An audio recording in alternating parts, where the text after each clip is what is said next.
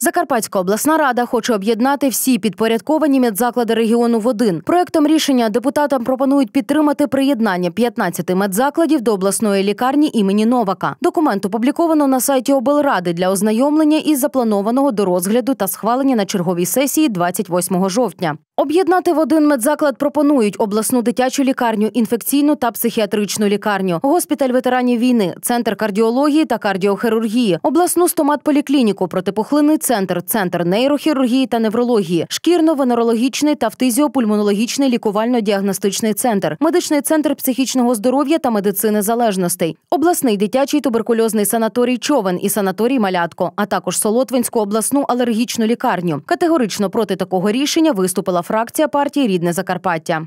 У багатьох лікарнях є грантові програми, де використовують кошти Європейського Союзу. Наведу один приклад: це в Нижній Апші будується за кошти Європейської транскордонної програми Україна, Польща, Білорусь е, туберкульозний диспансер. Тепер ми його зупинимо. Ми не візьмемо європейські кошти. Чи ми чим ми їх компенсуємо? У нас таких коштів немає, щоб його добудувати. І таких грантових програм великих або маленьких є буквально практично всіх медичних закладах. Коли кожна юридична особа має керівника, має якийсь штат, якусь команду людей, то вона може змагатися за контракт з НЦЗУ, так, Національної служби здоров'я, і заробляти більше грошей. Таким чином, ліквідуючи всіх, ми зробимо таку совєтську уравніловку, де не буде зрозуміло, що хто краще працює, а хто гірше. Хоча і зазначають, що ревізія медичних закладів, які знаходяться на балансі обласної ради, дійсно потрібна. Однак будь-яка реорганізація не повинна проводитися без детального вивчення і обговорення. Звичайно, реформи потрібно робити, треба рухатися вперед.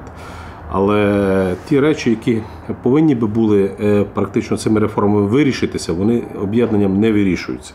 А саме про що йде мова?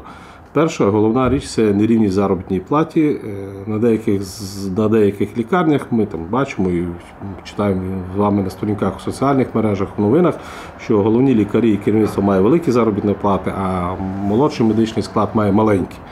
Таким чином, треба е, створити єдину систему преміювання цих закладах і яким чином слідкувати за цим. Для цього можна було зробити централізовану бухгалтерію по виплаті заробітної плати на базі якоїсь загальної агенції по управлінню цими закладами. Обласні депутати рідного Закарпаття переконані, що пропоноване об'єднання може призвести до регресу самої галузі, а також втрати довіри до нас, європейських партнерів, з якими підписані угоди про співпрацю. Тому закликала колег підтримати їх пропозицію не голосувати за прийняття цього проекту рішення.